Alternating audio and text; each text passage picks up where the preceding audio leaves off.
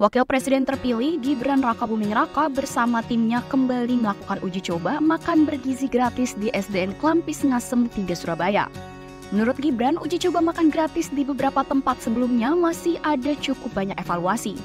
Oleh karenanya, Gibran menilai jika agenda kali ini yang terbaik dibandingkan sebelumnya karena SOP-nya sudah berjalan dan ia menerima masukan-masukan dari pengamat, orang tua, hingga netizen.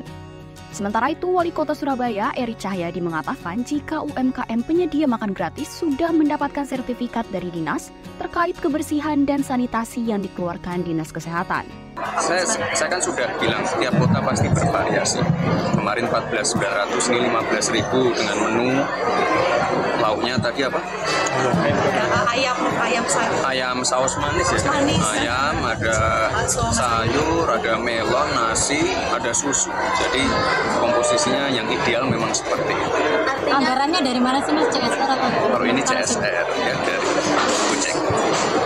Gibran Jadi sekali lagi yang hari ini UMKM-nya dapat, murid-muridnya dapat, modulnya juga dapat. Jadi benar-benar multi multiplier effect-nya luar biasa. Mas Gibran ketika ada UMKM maka UMKM-nya ini sudah dicek mendapatkan sertifikat dari dinas kebersihan terkait dengan sanitasi dan lain-lainnya.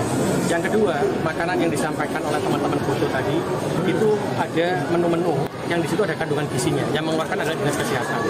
Jadi ini sekaligus mengurangi gizi buruk, stunting, saya tetap akan jaga. Yang ketiga, di sekolah ini ada pemilahan sampah di setiap sekolah. Jadi ada organik dan anorganik.